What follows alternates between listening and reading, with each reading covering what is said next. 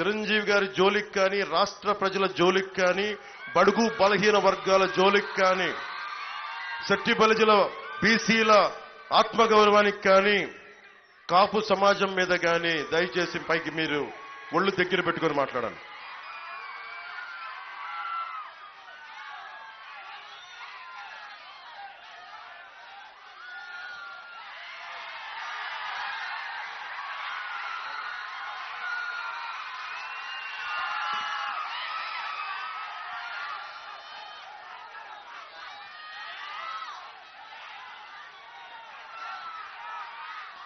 నేను మీ భవిష్యత్తు కోసం ఇది మాకు వదిలేసేయండి. నేను ఒక ఇంపాసిబుల్ టాస్క్ని అలయన్స్ని పట్టుకొచ్చాను నేను. కన్విన్స్ చేశాను. నేను తగ్గాను.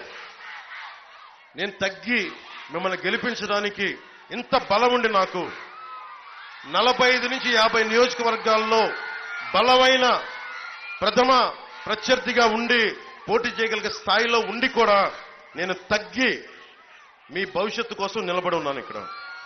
జనసేన ఇరవై ఒక్క శాసనసభ్యులు శా- మనకి అసెంబ్లీ సభ్యులు ఇరవై ఒకటి కాదు అది నూట డెబ్బై ఐదు గుర్తుపెట్టుకోండి.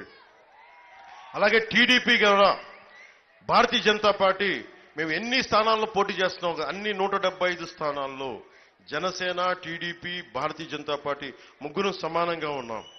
ఎందుకంటే రేపు పొద్దున ఇప్పుడు దాకా బూతుల అసెంబ్లీలు చూశారు. ఆడబిడ్డల్ని అకారణంగా తిట్టే అసెంబ్లీని చూశారు. ఇంట్లో నుంచి బయటికి రాని ఆడబిడ్డలను కూడా తిట్టే నీచ సంస్కృతి వీళ్ళది. అలా కాకుండా నిజంగా మనకు వశిష్ఠ భారతి గురించి డిబేట్ జరగాలంటే దానికి కూటమి రావాలి. నిజంగా యువతకి ఉపాధి అవకాశాలు రావాలంటే కూటమి రావాలి. డిఎస్సి మెగా డిఎస్సి నోటిఫికేషన్ రాగానే తీసుకొచ్చే బాధ్యత కూటమి తీసుకుంటుంది. యువతకు ఉపాధి అవకాశాలు కానీ స్కిల్ డెవలప్మెంట్ కానీ అన్నిటికంటే కూడా స్వేచ్ఛ. నిజంగా సమాజంలో కావాల్సింది స్వేచ్ఛ కావాలి. నాకు ఇష్టమైన మాట.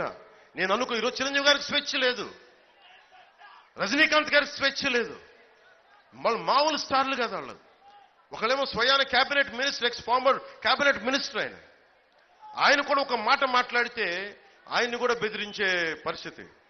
ఇక్కడ మన శెట్టిపల్లి సోదరులను ఎలా బెదిరిస్తున్నారో ఒకవైపు చిరంజీవి గారిని కూడా సజ్జల రామకృష్ణారెడ్డి గారు అలా బెదిరిస్తున్నారు. మేము వస్తే ఇలా అంటామని. ఇలాంటి బెదిరింపులకి తాటాకు చప్పుళ్ళకి అస్సలు బెదరం సజ్జల రామకృష్ణారెడ్డి గారు గుర్తుపెట్టుకోండి. మీ నాయకుడు వైఎస్ జగన్కి చెప్పండి. ఇప్పుడు దాకా ఉన్న రాజకీయం వేరు పవన్ కళ్యాణ్ తర్వాత వచ్చిన రాజకీయం వేరు. మెత్తగా కనిపిస్తా. ప్రేమతో ఉంటా ఎవరి కోసం?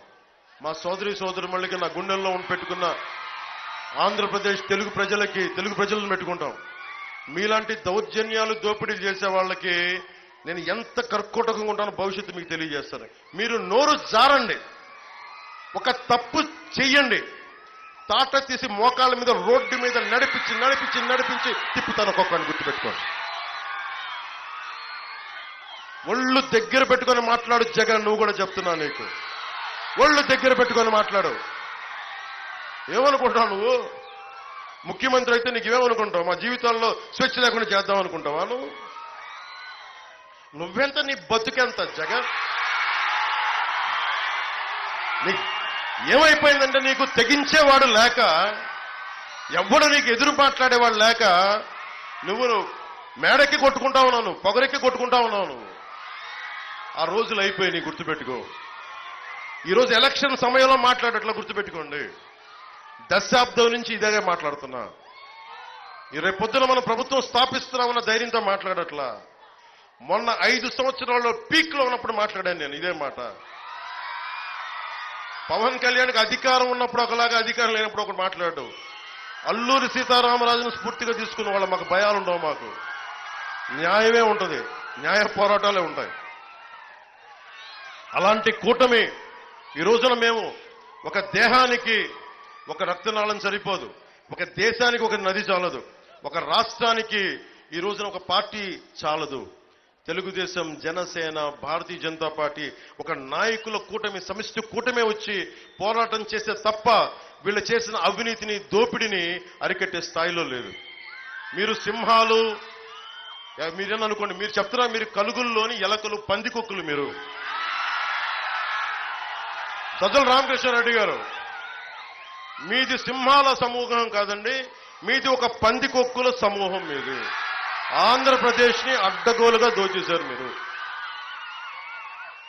అందుకని మీ సమూహాన్ని పంపించే బాధ్యత మేము తీసుకుంటాం. మీ అందరికీ కూడా ప్రజలందరికీ కూడా అన్నదమ్ములందరికీ మనస్ఫూర్తిగా ధన్యవాదాలు తెలుపుకుంటూ నర్సాపురం జనసేన అడ్డా ఇది. ముఖ్యంగా ఇక్కడున్న మార్వాడి సోదరులందరికీ ఈ రోజున మహావీరుడి జయంతి